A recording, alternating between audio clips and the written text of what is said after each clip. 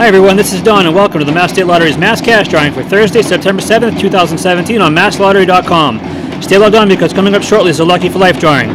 Now let's see how you did in tonight's drawing. The first number is 23.